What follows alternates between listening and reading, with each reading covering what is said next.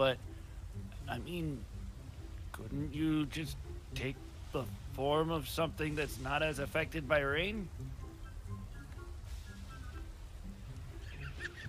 the face he gives. Just imagine the face he would give you, and that's the face.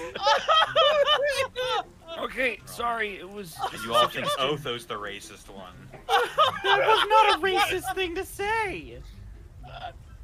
Uh, I mean, geez, can't you be something else? Not what I said.